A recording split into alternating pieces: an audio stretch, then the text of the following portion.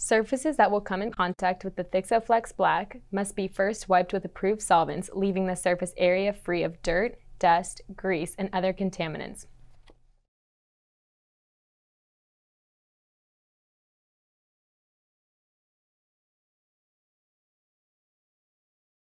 Once the surface area is clean, mask off the application area.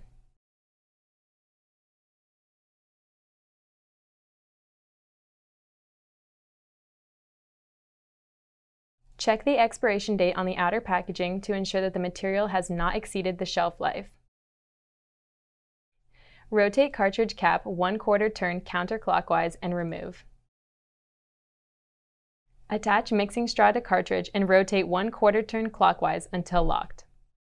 Release locking ring and insert cartridge into dispenser.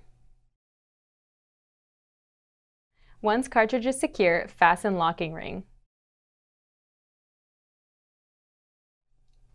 Hold sealant dispenser with mixing straw upright. Completely fill mixing straw by squeezing trigger of dispenser with mixing straw pointing upward at a 45 degree angle.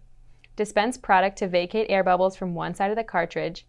Rotate the cartridge 180 degrees and repeat the process.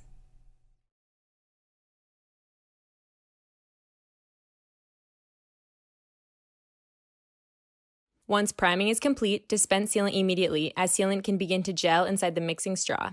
If dispensing is halted for more than 30 seconds, install a new mixing straw on the sealant cartridge and reprime.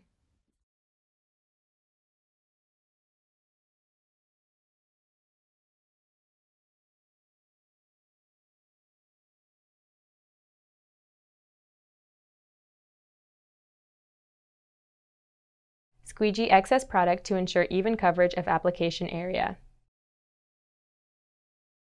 Immediately after sealant has been applied, begin the demasking process.